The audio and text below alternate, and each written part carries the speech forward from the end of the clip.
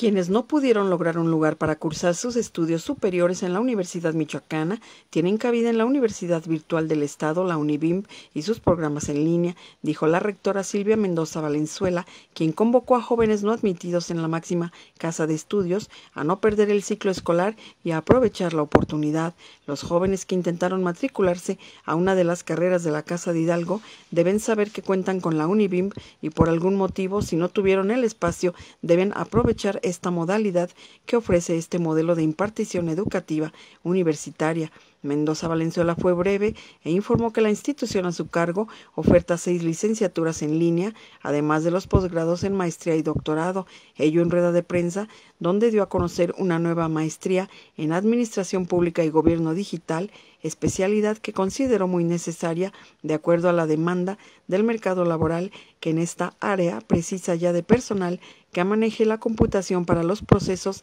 administrativos que al paso de los años han debido para optimizarse. Y por ello se requiere de la formación de líderes capaces de actuar ante los nuevos retos de la administración y la política pública